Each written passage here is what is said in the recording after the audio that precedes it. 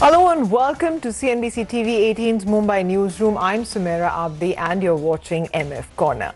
On the show today, we have a very interesting topic, which is fixed maturity plans or FMPs. What are they and why are they suddenly so attractive? We have two experts who'll be joining in to give you a 360 degree perspective on this. We have Mr. DP Singh, who's the Deputy MD and uh, Chief Business Officer at SBI Mutual Fund, and Prableen Bajpai, who's the founder of FinFix Research and Analytics. So thank you both very much, uh, Mr. DP Singh and Prableen, for joining in. Um, you know, first, I want to begin by asking you, sir, uh, you know, what is it that have made FMPs suddenly so attractive? I mean, they've been around uh, for many, many years, and normally it's only in March, right, what we call this FMP season uh, where investors suddenly take to them. But uh, what is it about them that's become so attractive now? Oh, thank you, Smita. Thank you for having me in the show. Yeah. About FMP becoming attractive, you know, when interest rates start moving up, then there's always a lag between the interest rates in the economy moving up and the FD rates moving up. So there's always a, generally a lag of two to three months, right? And that is the period because, you know, I mean, uh, see, we invest in the debt securities on daily basis and we can lock in the money at the same price what is there prevailing in the economy. So how FMP works is that we collect the money from investors and lock in the money in the uh, similar period for which the money has been raised in those securities and the expense ratios are generally very very low in these kind of funds so we are able to um, provide very, very good returns to the investor in FMPs because FMPs, of course, we cannot guarantee or indicate any returns, hmm. but generally it is visible if the interest rates are high, say 7% or 7.5%, and generally everybody knows the expense ratios are ranging between 20 25 paisa. So, so one can definitely make out that, that I will get uh, 7.25% uh, around this kind of return. So that just makes it uh, very closer to FD, but there's always a gap of 100 to 150 basis point more than FDs. That's what makes it very, very attractive for the uh, high net worth in investors. Uh, Mrs. Singh, is there any particular maturity uh, which is more in favor right now? Yeah, generally what happens as per the tax laws, I mean, if you are locking in the money for more than three years, then it, it attracts the long-term capital gain tax. And long-term capital gain tax is attractive for two reasons. One, the interest, uh, the the uh, uh, rate of tax itself is low, that is 20%. Plus, there's a benefit of indexation. Indexation is nothing but uh, the the inflation during these three years where the number is uh, I mean, uh, brought out by the CBDT every year. So the three years inflation number is uh, taken out, knocked out of the returns, and on the remaining portion only you have to pay 20%. So that makes it highly, highly attractive for the high in, uh, tax paying individuals. Okay, fair enough. We'll come back and explore this uh, point in greater detail in a bit. Uh, but before that, uh, I wanted to ask you that, you know, besides just being attractive in terms of, uh, you know, the returns which we are currently seeing or the potential returns uh, which are possible currently, uh, what would be the other pros and cons for a person looking to invest in FMPs? Uh, good afternoon, Sumera. So I think Sir has uh, very nicely explained what how FMPs actually work, and there are a lot of benefits to it. Uh, the number one is Sumera because it's a broadly a buy and hold strategy. So what happens is there is no active management during the period of holding, which reduces the cost as compared to any other debt fund, which is uh, around the same maturity. So let's say, you know, uh, I think SBI has in fact, FMP has recently closed and it is about 1460 days. So, uh, which is around four years period. So the expense ratio for this product would be, would be much, much lower as compared to any other active debt fund around the same duration. That's the first one. Second, I think, is the predictability of returns, Sumera. Um, so, uh, bonds, because they are traded, they are able to capture and they respond more quickly to how interest rates in the economy move.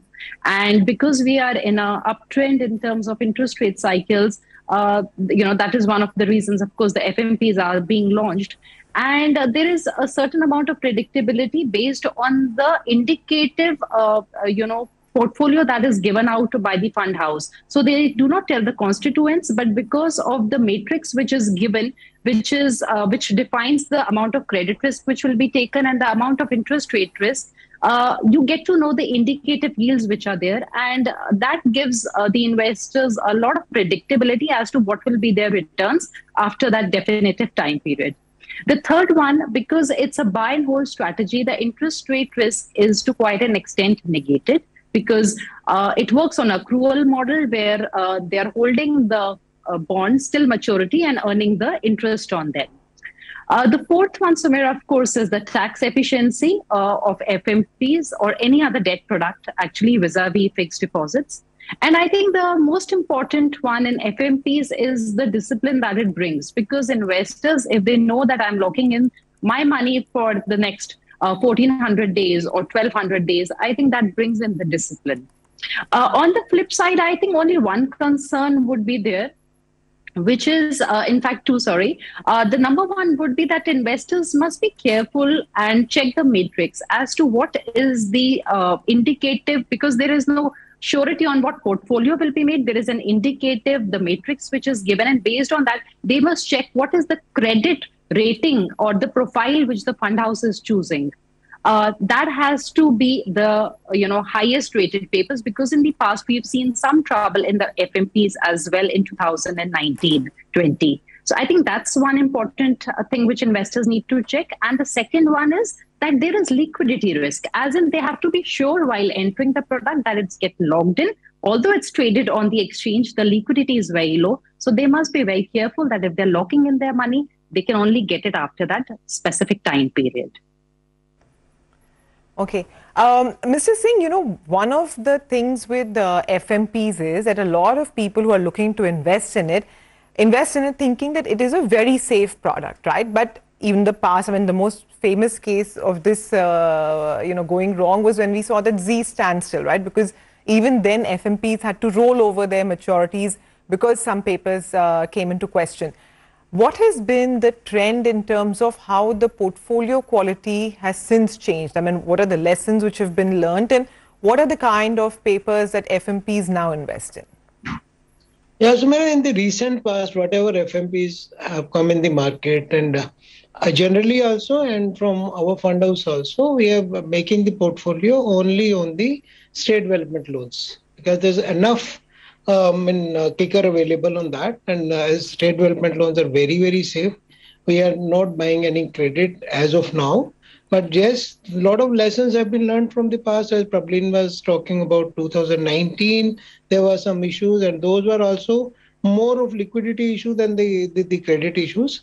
But but yes, lessons learned because the people who are putting in money, they are they, they look at the, these kind of funds as being very very safe very, very, I mean, uh, see, there, there, there, will be no issue. I mean, as you see the, the SDLs, when as you are showing on the screen, when in July it was 7.40% was this thing. Even if uh, we have created a portfolio of 7.40 and 20, 25 basis point is the expense ratio, the net in the hands of the investor at the time of maturity would be 750.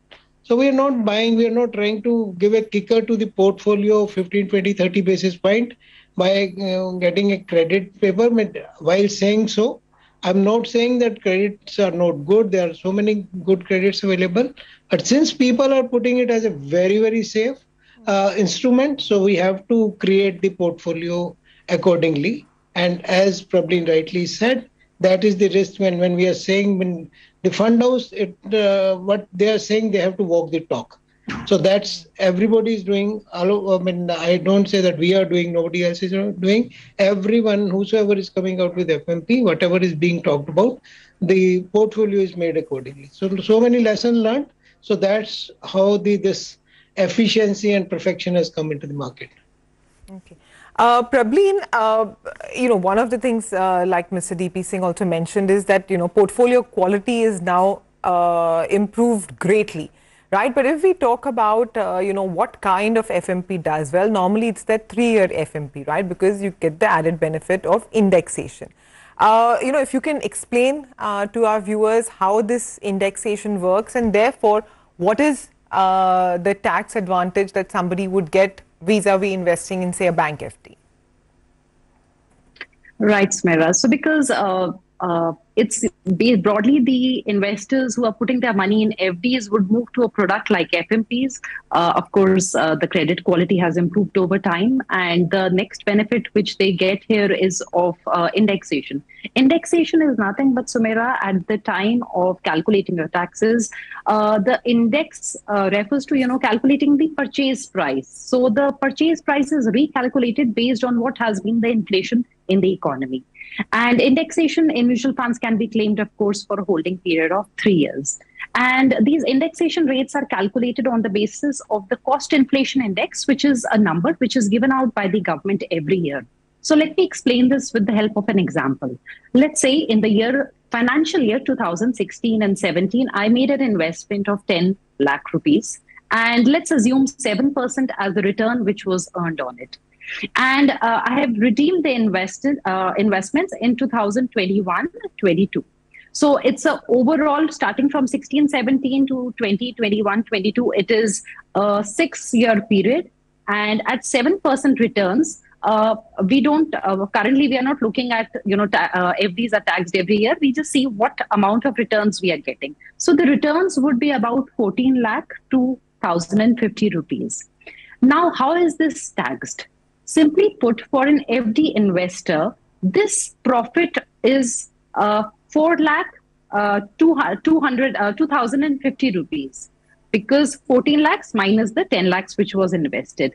And if a person is in 30% slab, he or she pays a tax of 1 lakh 20,000 simply because FDs are taxed at your marginal tax slab.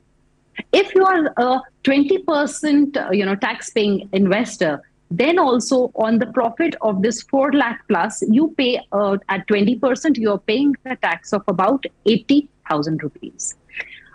What happens in case of debt mutual funds or FMPs is that we now recalculate our purchase price. So the cost inflation index number in 2021-22, which is 317, minus the number which was there in 2016-17, it's divided and that was 264. So we get a multiple of 1.2. And this multiple Sumera is multiplied by a 10 lakh investment. So 10 lakh now becomes 12 lakhs. That means that the government is giving me a leeway that, okay, till the time your investment in is increasing in line with the inflation in the economy as set up by them on based on this number, they are not taxing me. So my purchase price becomes 12 lakh. And only over and above uh, this 12 lakh whatever profit I have earned, now I pay a tax of 20%. That reduces my tax to 40,000 rupees. So in the first case, it's 1 lakh 20,000, 20% slab person, it is 80,000. And if in case we are using indexation, it comes down to 40,000. So the 7% return, Sumera, effective for the person in the 30% slab finally works out to be 5.09%. For the person in the 20% works out to be about 5.7%.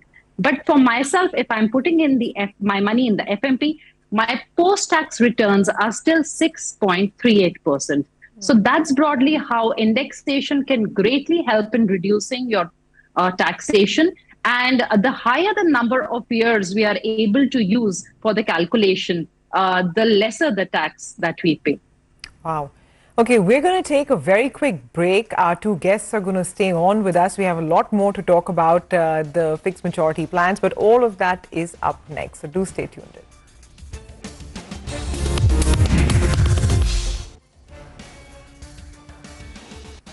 Hi, welcome back. You're watching MF Corner and we're talking about FMPs or fixed maturity plans and what is giving rise to their popularity these days. Uh, with us are our two guests, Mr. DP Singh, Deputy Managing Director and Chief Business Officer at SBI Mutual Fund, and Prableen Bajpai, founder at FinFix Research and Analytics. So before the break, we have uh, you know, spoken a bit about exactly what FMPs are, their pros and cons, and the kind of benefits that they enjoy. But probably there's another similar kind of debt product, which is called the target maturity funds, right? And I mean, I can imagine that uh, because of the nomenclature, there is some scope for confusion. So if you can clarify what are the differences between FMP and this target maturity funds? Right. So I'll call FMPs a subset of target maturity funds only, Sumera. So target maturity funds, as the name denotes, it's got a target. So you know the time period for which you're investing and it matures at that time period. And it's a passive strategy. So uh, the fund, uh, the product, basically, the scheme just tracks an index which is out there. And uh, in a passive way, they are able to replicate the holdings of the underlying index. I'll give you an example here. Uh, let's uh, pick IDFC Gilt 2027 Index Fund. So here, the underlying index is the CRISIL Gilt 2027 Index, which means uh, through the name only, one can understand that it's investing in government securities as reflected by Gilt, and the maturity is in 2027. Now, this particular product would mature on the 30th of June 2027. Likewise, we have the SBI CPSE Bond Plus SDL September 2026 50 50 index. Here, Sumera, again, uh, there is an underlying index, which is the Nifty SP, um, CPSE Bond Plus SDL index, which is tracked by this particular fund by SBI. So uh, I think the main differences here as compared to an FMPR, number one, in case of a target maturity uh, fund, you already know the underlying portfolio because an index is going to be replicated just like an index fund in the equities. If I say that I'm going to invest in a Nifty 50 equity fund, uh, you know, you know that uh, the underlying index are the Nifty holdings. Likewise, in the target maturity fund, you know the constituents. In case of an FMP, the portfolio is constructed later, so you have an indicative um, you know, structure uh, as to what sort of interest rate risk and credit risk will be taken, but the holdings are not known until the uh, portfolio is constructed. The second difference, and the very important one, is that target maturity funds are open ended. So you can buy, sell at any time. Uh, but FMPs are closed ended, they're open for a limited time period, and then you cannot redeem your money till maturity. Uh, the third one is that FMPs are listed on the exchange. And of course, with target maturity funds, because there are ETFs or index funds, that is not required. And uh, the fourth one is that FMPs usually are in the one to four year time period uh, they are launched.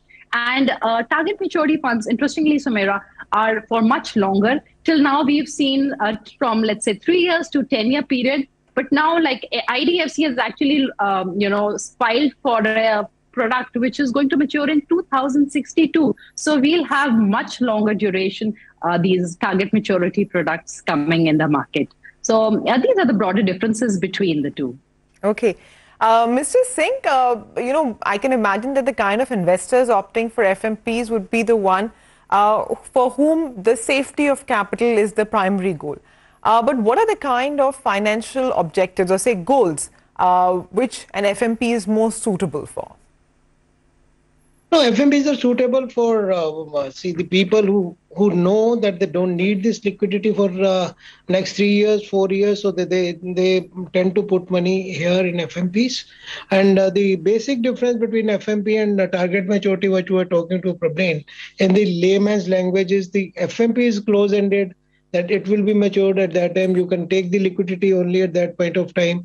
Whereas in target maturity, they if you are withdrawing in between I will compare this with the um, uh, what you call MODs or this uh, uh, liquid FDs which are being sold by the banks nowadays. That you can put the FD for three years, and whenever you want to withdraw, you can withdraw, and for whatever period it will be running, you will get the interest. Against that, target maturity fund is for the those people who are who know uh, more or less they will not require it, but they want to have the liquidity option available with them even if they have to sell it at a discount or uh, uh, see at a premium because in case of fd it will be only a discount. In case of target maturity there is a probability if the interest rate goes down in the market you may have the possibility of having a premium on the returns which you have already been uh, uh, see uh, you you has been indicated because you know the portfolio so that's another uh, point. The people are same. The people who are very very certain that they don't need any liquidity, they put in FMP. The people who they know that they have the money for three four years, but they may at there could be some uncertainty and they may need this money. and the typical FD investor, they, they uh, uh, customer, they, they can put money in target maturity funds. So, uh, sir, is there any checklist an investor must sort of go through before they, uh, you know, choose between the many kind of FMPs on offer? Basically, the uh, the portfolio quality as far as FMP is concerned, whether what is the portfolio quality, what is being indicated, whether it's going to be SDLs, whether it's going to be high-rated credit, uh, credit AAA rated, so on and so forth, or it's a lower-rated investment grade paper also. So it depends upon the risk appetite of the investor. That is the first checklist which is there. Another point at this point of time when we are talking today See, there's another the example which uh, Prableen showed that was for the previous years where the inflation rate was quite low, and we go to a um, position where we were to pay forty thousand rupees tax. But as we are talking, the inflation itself is very high. Maybe after three years, if the higher inflation rate scenario continues, the there could be a zero tax implication mm. also because the indexation will be high. That is one. But but uh, see, coming back to the checklist, I think uh, in FMP, other than the um, uh, this one, that uh, what is going to be the portfolio quality, nothing. And as far as target maturity funds are concerned, there, as uh, is told earlier, the maturity and paper is already known.